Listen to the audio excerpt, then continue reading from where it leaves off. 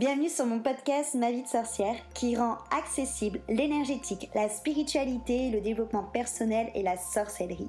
Je suis Christelle Célis, sorcière multicasquette et je t'accompagne à la rencontre de tes émotions, de ton inconscient, de ton corps physique, énergétique et aussi à travers ton système de pensée.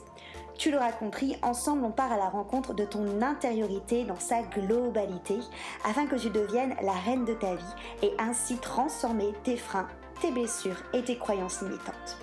Ici, dans ce podcast authentique et frais, je partage avec toi des sujets autour de réflexion, de développement perso et spirituel, de pratiques et d'outils magiques.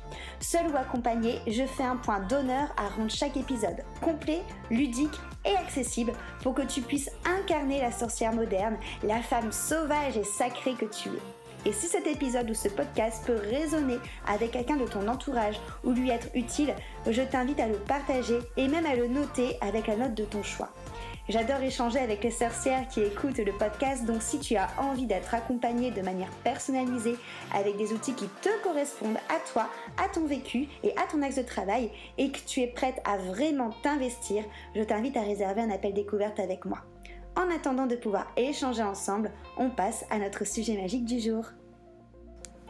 Et attends un petit instant, que tu sois débutante ou expérimentée, je viens de créer un pack de méditation à tout petit prix 10 méditations pour 8 euros parce que j'ai très envie que la méditation soit une manière de trouver le calme, de travailler sur soi, de s'apporter sérénité, d'apprendre à mieux se connaître d'une manière accessible à tous. Donc ces 10 méditations, tu en trouveras sur plein de thèmes différents. Il y a une méditation dans ce pack ancrage, il y a une méditation sérénité, il y a une méditation lâcher prise, une méditation euh, apprendre à, connaître sa psyché, il y a une méditation également pour se connecter au cœur, se connecter aux éléments, bref, 10 méditations différentes dans ce pack pour créer ta trousse à pharmacie magique et holistique voilà, simple d'utilisation tout simplement.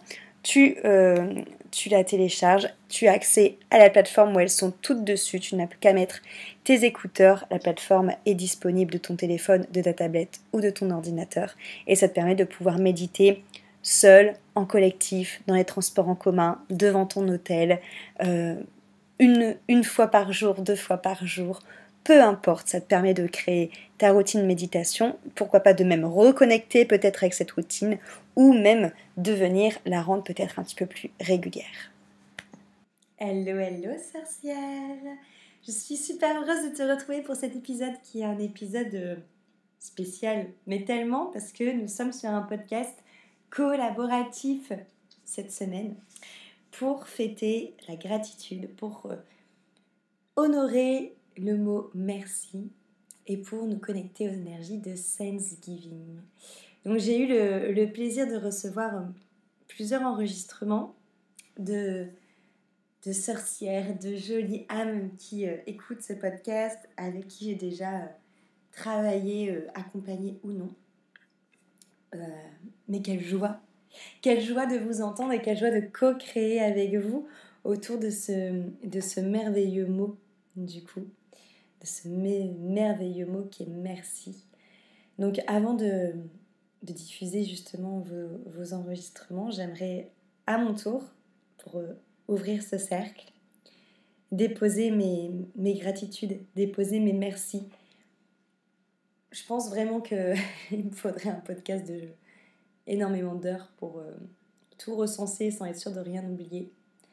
Mais euh, la gratitude pour moi, c'est quelque chose qui est super importante parce qu'en fait, juste le fait de se connecter à la gratitude, c'est quelque chose tous les soirs que l'on fait euh, avec, euh, avec Flo, qui, euh, qui est mon amoureux. Tous les soirs, on se demande c'est quoi tes trois gratitudes de la journée? Moi, souvent, j'en ai beaucoup plus que trois à chaque fois. Mais pour moi, c'est super important parce que ça te met carrément dans une autre énergie intérieure par rapport à ce que tu vis, par rapport à ce que tu as vécu et euh, c'est super beau en fait de souligner des choses qui t'ont fait plaisir, de souligner des choses qui t'ont mis en joie, qui, de souligner les choses qui, euh, qui te nourrissent, qui euh, câlinent ton cœur et qui peuvent paraître parfois genre normales ou, ou même acquises Il n'y a rien qui est jamais acquis et c'est super important pour moi de dire merci, de dire merci à la vie, de dire merci à ce qu'on vit, de dire merci aux gens qui nous entourent. Donc déjà, si je pouvais commencer ce, ce podcast, je t'inviterais vraiment à prendre le, réflexe de chaque soir dire merci pour quelque chose, ou pour plusieurs choses, c'était une grande babelle comme moi. Mais vraiment prendre le temps de t'extasier sur les cadeaux en fait que la vie t'amène tous les jours parce que vraiment ça change profondément ton énergie intérieure. Ça te remplit vraiment d'une joie et d'une sérénité, je dirais même d'une complétude qui est indestructible. Moi personnellement, j'ai déjà beaucoup, beaucoup, beaucoup de gratitude. Mille merci aux personnes qui ont entendu mon appel et qui ont participé à ce podcast, à celles euh, qui l'ont fait euh, pour se livrer avec amusement et à celles qui l'ont fait avec un peu plus d'appréhension. Merci beaucoup de, cette authenticité et de ce, cette ouverture de cœur. J'ai beaucoup, beaucoup de gratitude pour la vie que j'ai, pour le, fait d'avoir... Euh, un toit, d'avoir une, maison qu'on est en train de construire, d'avoir des projets qui sont en train d'avancer vitesse grand V dans la fluidité. J'ai beaucoup de, gratitude aussi pour toutes les merveilleuses choses que je vois au quotidien. Des petits rouges-gorges qui se posent sur mon balcon, euh, des petites abeilles qui viennent butiner mon citronnier, euh, des, des jolies petites fleurs qui se perdent au milieu du béton ou au milieu de, mauvaises herbes. J'ai beaucoup de gratitude pour la nature, pour ce que la Terre nous offre comme spectacle, comme les merveilleux ciels qu'on peut voir, les superbes couchers de soleil. J'ai beaucoup de gratitude aussi pour euh, tout le côté matériel aussi, on va dire, de la vie. Le fait de pouvoir manger euh, des plats que je kiffe, le fait de pouvoir faire une belle déco pour, euh, pour des différentes saisons, le fait de pouvoir me faire plaisir et de et d'acheter des, des, de seconde main, des, des vêtements euh, qui euh, sont dans le style que j'ai envie d'avoir. Le fait de pouvoir me nourrir sainement avec euh, des bons produits. J'ai beaucoup de gratitude aussi bah pour tout ce qui m'entoure. Alors, j'ai vraiment parlé au niveau du cœur. De déjà les personnes qui me font confiance. J'ai beaucoup de gratitude en fait pour toutes ces personnes qui me suivent, pour toi qui écoutes le podcast, pour ces personnes avec qui je, J'échange sur Instagram pour toutes mes coachées, pour toutes celles qui font immersion, qui font initiation, pour toutes, vraiment, j'ai énormément de gratitude pour toutes les personnes qui viennent à moi en fait, pour travailler avec moi. Je me sens honorée de pouvoir euh, vous guider, de pouvoir vous accompagner et d'avoir affaire à des personnes en fait comme, comme vous, que je trouve exceptionnelles en fait, exceptionnelles dans le fait de vouloir apprendre à vous comprendre, à vous aimer, à retrouver cette unité intérieure, de pouvoir connecter avec des gens passionnés comme vous. J'ai beaucoup, beaucoup de gratitude pour ce que je vis en fait dans mon métier, un métier qui me, qui me fait vibrer, qui me fait rencontrer, ben voilà, euh, comme je vous dis, des, des personnes que je suis heureuse de coacher en fait. Quand, quand je vais dans un coaching, quand je vous rejoins pour une immersion, une initiation ou une retraite, je suis pas en mode putain, je vais encore avoir des clients chiants et des, connards. Au contraire, je me dis putain, mais moi j'ai la, j'ai la chance d'avoir des personnes qui sont juste adorables en fait. Et que j'aime retrouver, que j'aime accompagner, que j'aime voir en fait faire ce chemin et vous voir évoluer. J'ai beaucoup de gratitude pour voir toutes les transformations que je vois, pour être touchée par chacune d'entre vous. Vraiment, d'avoir tout le temps des personnes avec qui je connecte qui me touchent profondément au niveau de, au niveau de l'âme. Euh, qui m'émeut beaucoup dans leur chemin, dans leur transformation, dans ce qu'elles osent entreprendre pour elles. J'ai beaucoup de gratitude pour le fait que vous osez faire tout ça pour vous aussi. J'ai beaucoup de gratitude pour un métier où je me sens totalement libre et totalement alignée. Et ça, c'est super beau en fait, d'être son, à son compte et de ne pas avoir de contraintes. Alors forcément, j'en ai, mais de ne pas avoir des contraintes en tout cas qui me sont données par quelqu'un d'extérieur. Ça, c'est aussi quelque chose qui me met vraiment beaucoup, beaucoup en joie de pouvoir en vivre aussi, j'ai beaucoup, beaucoup de gratitude pour ça. J'ai beaucoup de gratitude pour euh, mon cercle intime aussi, énormément. Beaucoup de gratitude pour mes parents qui ont toujours cru en moi, qui m'ont toujours soutenue, qui, euh, qui sont un puits d'amour et, et de gentillesse euh, et de foi aussi en moi qui est inépuisable, j'ai l'impression. J'ai beaucoup de gratitude pour pour mon amoureux aussi qui me soutient énormément dans tout ce que je fais et qui est même plus surpris quand je lui sors une idée saugrenue. Il faut savoir qu'à la retraite qu'on a faite là, euh, mi-novembre, j'ai eu des filles qui m'ont dit justement qu'il fallait à tout prix que je chante euh, parce que j'avais. Euh, que je. que je. comment que je véhiculais, véhiculais beaucoup de choses par ma voix, il fallait à tout prix que je fasse quelque chose avec. Alors, c'est pas la première fois qu'on me le dit. Et donc, quand je suis rentrée de la retraite, j'ai dit à, à, Flo ça, en lui disant Tu te rends compte, Doudou, c'est pas la première fois qu'on me le dit. Euh, enfin, c'est quelque chose qu'on me dit vraiment depuis de nombreuses années et très souvent. Et du coup, euh, en blague, je dis à Flo Bon, bah, du coup, euh, je suis trop vieille pour la Star Academy, donc je vais m'inscrire à The Voice. Et il me fait Oh, ok, cool. Et donc, c'était une blague, mais je m'attendais pas à ce qu'il réagisse comme ça. Et en fait, c'est pour vous illustrer la gratitude que j'ai en fait pour cette personne qui qui me soutient dans tout ce que j'ai envie de faire et dans tout ce que je dis en fait et qui a et qui a, qui croit vraiment en moi. Je trouve ça merveilleux de partager sa vie avec quelqu'un comme ça. Euh, j'ai beaucoup de gratitude aussi pour euh, connaître l'amour inconditionnel. Grâce à mon petit chat grâce à Arja je trouve que les animaux sont les meilleurs enseignants pour euh, pour toute la dose d'amour en fait qu'ils ont à donner et toute sa confiance illimitée en fait. Et Arjot, elle me remplit d'amour quand, quand je la vois, quand je vois notre lien et tout ça. Enfin, j'ai beaucoup de gratitude de connaître une relation comme ça euh, avec, euh, avec elle. J'ai beaucoup de gratitude pour mes copines aussi. Euh, mes copines qui, malgré mon déménagement de Lille à Bordeaux, sont tellement présentes toujours là qui sont toujours des, des, personnes qui me soutiennent, avec qui je peux, je peux partager aussi bien mes joies, aussi bien mes projets, aussi bien mes ambitions que mes colères ou mes tristesses ou mes peurs, qui sont aussi des personnes qui croient en moi, mais, euh, mais énormément, qui sont des personnes qui, euh, qui me ravivent euh, vraiment ma flamme intérieure sous différentes formes. Pour moi, elles ont chacune chacune a un rôle en fait et elles sont chacune euh, chacune je dirais euh, remplaçables elles sont vraiment des personnes qui sont uniques et qui ont vraiment un sens très profond et particulier dans ma vie. J'ai beaucoup de gratitude aussi pour euh, pour ma famille pour les expériences de vie qui sont venues à moi qui font que je suis devenue celle avec qui je suis, que je suis maintenant. Et j'ai beaucoup de gratitude pour toutes les connexions en règle générale que je fais avec euh, tout le vivant, que ce soit d'autres êtres humains, euh, que ce soit la nature, que ce soit les animaux. Enfin, je pourrais encore vraiment m'étaler sur plein de choses. J'ai gratitude sur le fait d'avoir repris le sport, pour euh, la découverte de toutes mes pratiques spirituelles et de tous mes outils et d'être encore mais bluffée du résultat alors que je fais ça maintenant depuis, euh, depuis, depuis longtemps. Je, suis en calcul mental, mais je ne vais pas savoir compter depuis 6 ans, 6-7 ans. Mais d'être toujours aussi surprise de tout ce que je vois, de tout ce que je ressens. J'ai beaucoup de gratitude pour ça, j'ai beaucoup de gratitude pour l'univers, pour le fait de se sentir en fait dans un tout, englobé et en sécurité. J'ai beaucoup de gratitude pour la vie.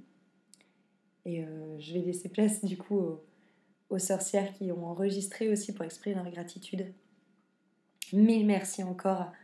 Voilà, si tu écoutes ce podcast, mille merci pour ton écoute. Je suis très touchée par ce podcast, ça m'a fait monter les larmes en disant mes merci à tout le monde. Donc je te laisse avec les enregistrements des sorcières qui m'ont envoyé euh, leurs petits mots, leurs petits textes autour de merci et de la gratitude. Passe un merveilleux Thanksgiving et je te fais plein de bisous. Alors, pour moi, la gratitude, c'est quelque chose qui se cultive. Euh, c'est quelque chose que euh, au début on va ressentir de façon très subtile. On va peut-être avoir l'impression qu'on rate, euh, rate quelque chose, alors que encore une fois tout est juste. Et voilà, au début c'est quelque chose où on va un peu avoir l'élan. Enfin moi c'est comme ça que ça s'est passé. Euh, dans les méditations, j'entendais souvent euh, cultiver la gratitude, la gratitude, euh, et ça me parlait pas forcément. Et j'ai essayé un peu de mettre le pied à l'étrier, quoi, et de me dire bon, prendre des sentiments simples, enfin des, souvenirs, des pensées simples pour créer un, sentiment qui qui pas obligé d'embraser toute la pièce, quoi. quelque chose qui, qui va être subtil. Et du coup, euh, voilà, je pensais à mes trois kiffs de la journée, euh, comme l'exercice que tu nous as fait faire, des petites choses. Et en fait, on, ressent des petits pincements au cœur, des choses qui sont douces. Et euh, plus le temps passe et plus la gratitude, en fait, je me rends compte que c'est un sentiment qui est très fort, dans le sens où c'est un peu un élan vital, quoi. Enfin, quand j'en parle, j'ai vraiment l'impression que ça part du cœur de la zone du cœur et que c'est quelque chose qui, peut vraiment. Euh, qui est fort en fait. Et euh, bah là, rien qu'en parlant, déjà, j'ai de la gratitude pour toi. Forcément, je pense à, toi euh, qui, a, qui nous a donné l'opportunité en fait d'ouvrir notre cœur et du coup aussi notre chakra de la gorge pour parler de, de ce sentiment. ensuite, bah, je ressens aussi de la gratitude envers moi-même, je pense que c'est un sentiment déjà qui est interne. Enfin, par exemple, là, rien que le fait de prendre du temps pour, euh, pour exprimer ça, euh, sortir peut-être un peu de ma zone de confort, je trouve que ça mérite. Euh, enfin, je sais pas si c'est le mot mérite, mais en tout cas, peut-être prendre un peu de recul et, et juste ouais, féliciter l'action. Et ensuite, bah, la gratitude, c'est quelque chose qu'on peut envoyer aux autres, dans le sens, euh, bah, par exemple, nos amis, notre famille, merci d'être là, en fait, tout simplement. Euh, se rendre compte, euh, prendre un peu de recul, c'est ça aussi la gratitude, c'est être dans le moment présent, mais être comme un observateur du moment. Je sais pas si c'est très clair, mais se dire, waouh, là, ce que je vis, c'est, c'est quelque chose que j'ai envie de me souvenir. Et du coup, de ressentir l'émotion au moment présent, c'est-à-dire être heureux ou, euh, ou pas forcément du bonheur, hein, mais euh, euh, la sérénité, je sais pas, de la gourmandise, enfin un sentiment qui peut être positif et pas forcément positif parce que des fois même quelque chose qui est dur, on peut se dire bah merci la vie de, de me donner ce sentiment de me donner cette épreuve parce que ça veut dire que je suis capable d'aller outre en fait que de passer au-dessus. Du coup, c'est ça, je pense que c'est cette capacité de se mettre un peu en, recul et, euh, et de voir euh, la vie comme quelque chose de global et juste euh, bah, remercier la vie quoi. Remercier la vie et du coup, ouais, remercier la vie pour le toit qu'elle nous a donné, pour la matière dans laquelle on est, pour, pour les gens qu'on rencontre, pour Là, ce qui me vient, par exemple, bah, c'est euh, les nouvelles technologies, les trucs euh, qu'on est en train de créer, parce qu'on parle du monde qui, qui, qui va mal, mais euh, il y a aussi plein de choses qui vont bien. Et je pense que c'est aussi un peu faire un rétro-pédalage sur, sur les nouvelles qui nous viennent à. qui explosent un peu notre cerveau, qui nous fait peur, et bah prendre ce recul, souffler, et voir au final qu'il y a aussi plein de choses qui vont bien. Euh, et, être capable un peu de. Ouais, de. d'accepter ce qui arrive et rajouter un peu notre, euh, notre petites étincelles de vie dessus, quoi. Merci pour mes enfants. Merci pour l'amour que je reçois de ma famille et de mon conjoint. Merci pour avoir un toit et à manger tous les jours. Merci à la vie et à l'univers. Alors, un vocal pour euh, une gratitude. Eh bien, cette année 2022, en numérologie, c'est une année numéro 6. Le 6, c'est le chiffre de l'amour. L'amour de soi, d'abord, évidemment. Ce que j'ai bien appris euh, cette année et ce pourquoi euh, j'ai commencé cette année un coaching personnel. Et je l'ai commencé le 6 janvier 2022. Donc le 6, 1, 6. Donc euh, l'amour de moi, euh, oser être, euh, être, être moi. Donc une année incroyable, une année exceptionnelle. Merci à ma coach, ça c'est en premier, de m'avoir appris tellement de choses sur moi, sur tout, ce côté spirituel, ce côté holistique, tous les outils qui, qui m'appellent, gratitude immense pour cette personne. Euh, c'est toi, Christelle. Gratitude aussi pour moi-même, où euh, j'ai commencé enfin à 39 ans à aller venir me chercher, à me connaître, à savoir exactement qui je suis et à m'aimer. Alors il y a encore du travail hein, jusqu'au bout de la vie, comme on dit. Merci à mon homme de m'avoir euh, laissé toute cette année penser à moi.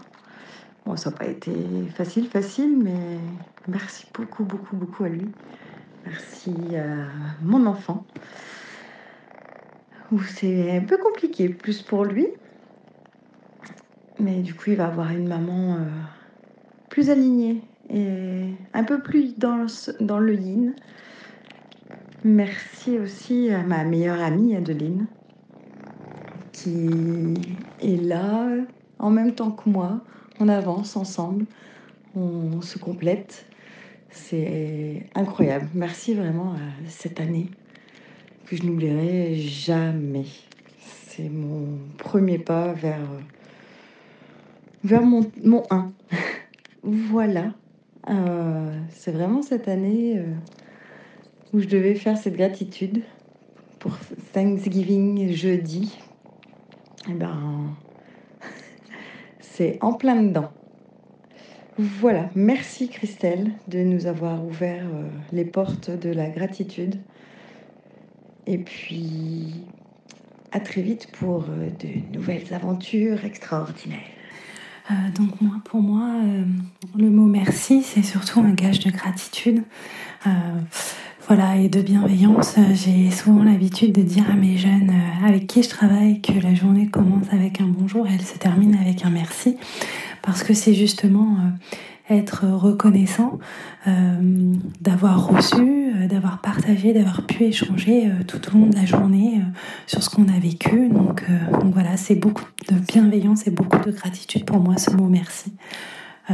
donc je te remercie aussi à mon tour de nous permettre de pouvoir participer à ton beau projet et de pouvoir nous exprimer par rapport à à des sujets qui sont euh, si importants que ça, euh, euh, la gratitude, la bienveillance et surtout transmettre et recevoir ensemble. Voilà. Que m'évoque le terme merci? Il y a 13 ans, j'ai travaillé dans un concept store qui se trouvait sur le boulevard Beaumarchais à Paris. je suis restée 11 mois là-bas et donc j'ai beaucoup appris sur la vente, sur les gens, l'hypocrisie des gens, la générosité des gens aussi. Donc les bénéfices de euh, la boutique allaient euh, à une association qui aidait les femmes et les enfants illettrés à Madagascar. Lors de mon expérience en comptabilité, euh, je m'occupais de tout ce qui était de comptabiliser les recettes chaque jour. Donc c'est là où j'ai découvert qu'il y avait des personnes qui étaient très mal intentionnées, qui travaillaient au sein de la boutique euh, qui profitaient de, des dons et euh, de, des ventes pour faire, euh, faire, pour, pour faire des achats personnels. Lorsqu'on m'a proposé de rester au sein de l'entreprise pour faire je ne sais quoi, j'ai refusé et j'ai préféré écrire une lettre au patron qui était en train de mourir parce qu'en fait il avait un cancer et je lui ai raconté euh, qu'il avait euh, donné confiance à des personnes qui profitaient euh, sur son dos. Je lui ai tout raconté. Donc j'ai été remerciée pour mon honnêteté et ma droiture.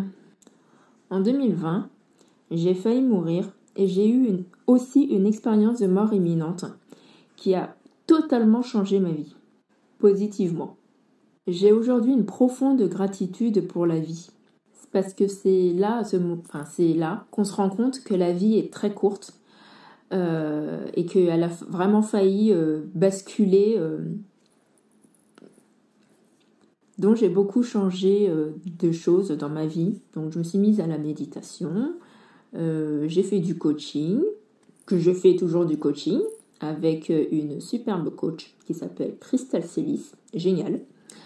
j'ai aussi changé de mode de vie, j'ai j'ai changé aussi d'alimentation, j'ai changé, j'ai fait beaucoup de nettoyage dans ma vie sentimentale, professionnelle, amicale et familiale. Euh, j'ai fait la paix avec des personnes de la famille avec qui j'étais en guerre euh, depuis plusieurs euh, années, comme mes parents avec qui je ne m'entendais pas. on avait, il y avait une certaine tension à chaque fois que on se voyait. avec mon frère aussi, donc ça va un petit peu mieux, et puis il a mûri, et puis il a un peu changé, mais moi aussi j'ai changé. je suis devenue une autre personne. Euh, j'ai déménagé euh, de Paris, j'ai quitté euh, pour m'installer à 800 km. Et aujourd'hui, je vis loin du tumulte et du stress de Paris. J'ai fait aussi de superbes rencontres ici avec des personnes avec qui je ressens une profonde connexion.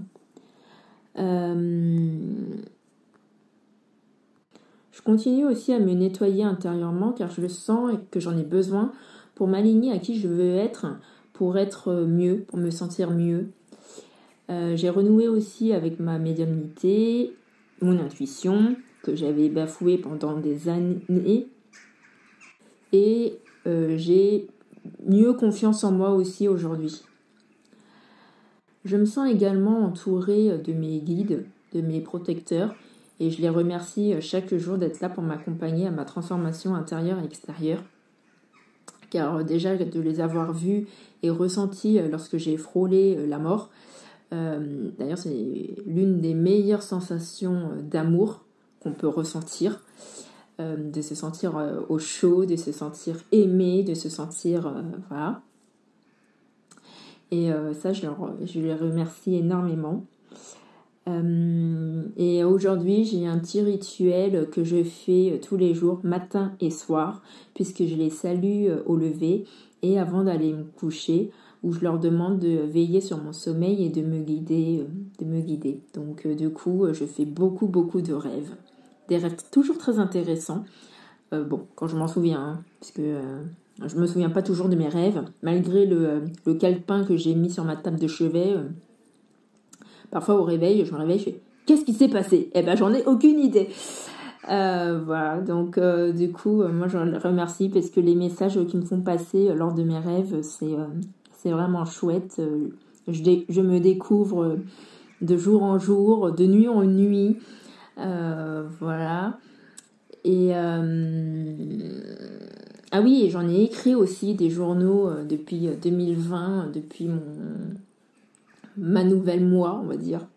Euh, j'appelle ça comme ça, ma nouvelle moi.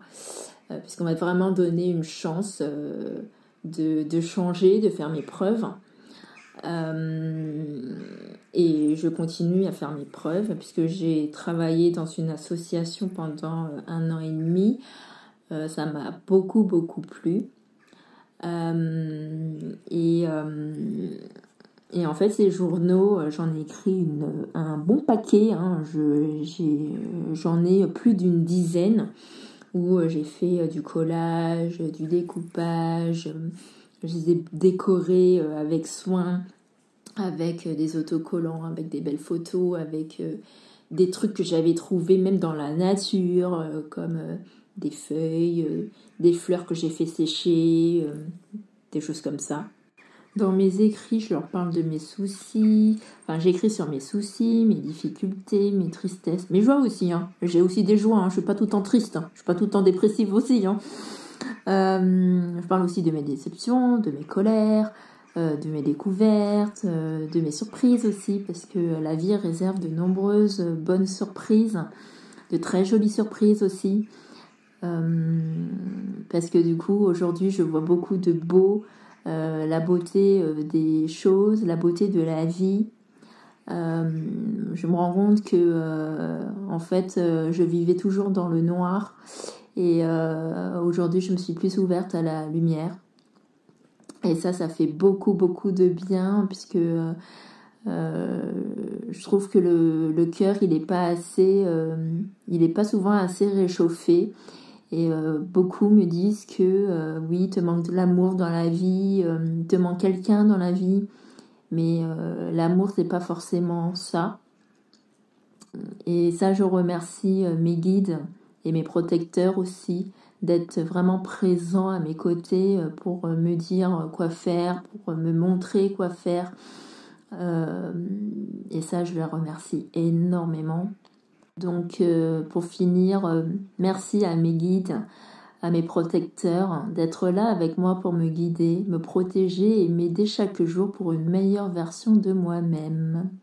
Alors le mot merci pour moi, c'est pour moi le mot je dirais le plus important euh, à dire, quelle que soit la situation. il suffit juste que voilà, on nous on nous fait traverser le passage piéton, on dit merci, voilà, c'est super important pour moi. Euh, c'est la gratitude aussi de tous les moments de vie. Euh, les blessures, les moments positifs, euh, les moments passionnels, voilà, tous les moments de vie qu'on nous met sur notre route pour comprendre des choses, pour que ça soit plus fluide aussi, et pour qu'on puisse grandir et avancer. Donc en fait, pour moi, le mot merci, et surtout en ce moment par rapport à ma vie, c'est la gratitude envers tout ce que l'univers a mis sur mon chemin, qu'il soit bon ou mauvais, dans tous les cas, il n'est jamais mauvais. Euh, mais ça m'a permis de grandir et de, ouais, de grandir, c'est ça, de me transformer et d'être la femme que je suis aujourd'hui. Même s'il y a encore du chemin, vraiment merci à toutes ces épreuves de vie, même si en effet il y a des doutes, il y a des doutes, mais, mais voilà, j'en serais pas là aujourd'hui s'il n'y avait pas eu toutes ces épreuves de vie. Donc voilà, merci tout simplement à tout ça. Et évidemment, merci à toi de proposer ce podcast qui, je pense, sera très très enrichissant. Mille merci pour vos enregistrements qui m'ont touchée, qui m'ont fait euh, sourire, euh, avec qui je me suis aussi dit euh, Ah bah ouais, c'est vrai, enfin qui ont beaucoup résonné. Mille merci pour ton écoute de cet épisode très spécial de ma vie de sorcière, pour ce podcast collaboratif. Merci d'être là. À très très vite pour le prochain épisode.